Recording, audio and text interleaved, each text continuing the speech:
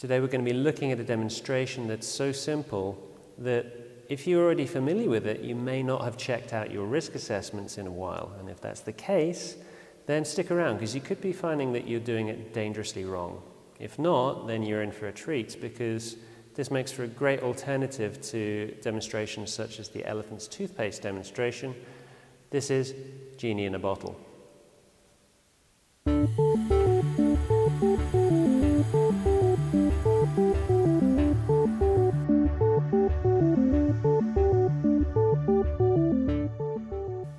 As with any demonstration, on the EIC website you can find all of the details you need, but we're going to start today with the safety information because I'm going to be using some 100 volt hydrogen peroxide. I'm going to be rocking a splash proof goggles, I've got some gloves here, and we also need to have a little bit of a chat about what kind of glassware we want to be using to perform this demonstration.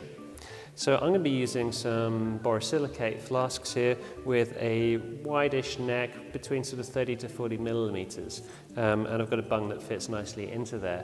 Because people are sort of doing like a genie demonstration, sometimes they can be tempted to use a volumetric flask because it has a slightly more exotic shape. These are made out of the wrong type of glass, have these thinner, narrower, longer necks, um, and have been known to explode in the past um, during this demonstration. So absolutely never, ever, ever use a volumetric flask for this demonstration. You can use a small PET bottle.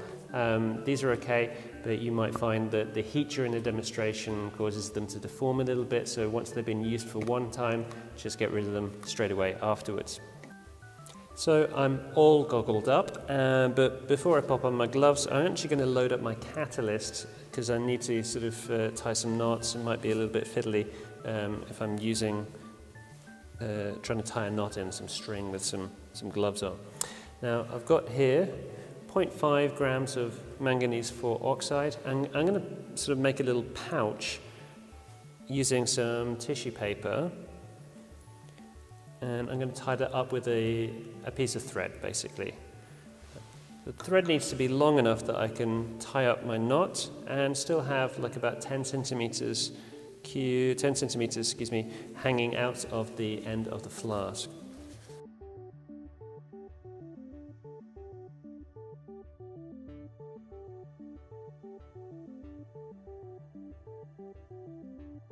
Okay, so I've got a couple of pouches. Time to put my gloves on.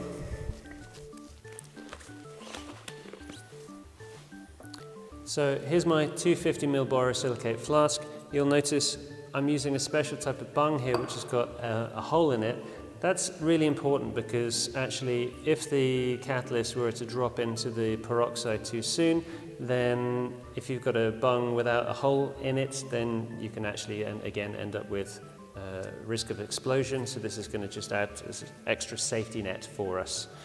So, making sure that you use a funnel, because you don't want to be actually touching the sides of the flask. We've got 25 centimeter cubed of our 100 volt peroxide.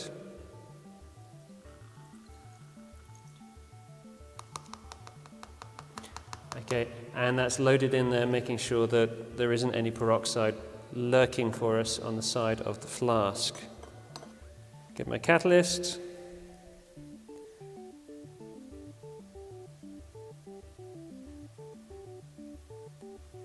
Set it up so it's hanging above the liquid.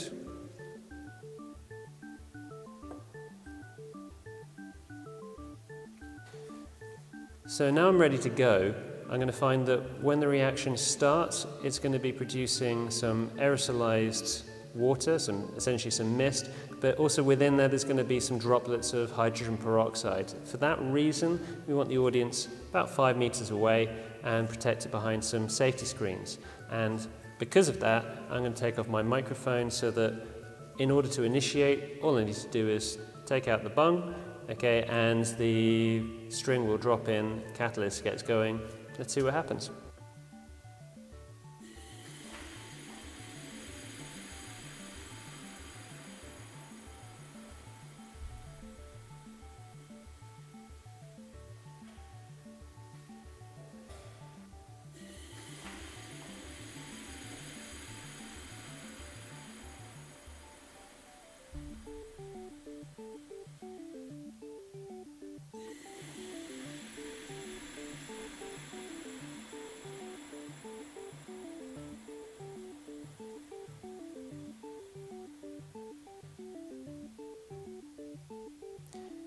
So a quick look around at the area surrounding the demonstration afterwards will give you a clue into why you want your audience at a decent distance away.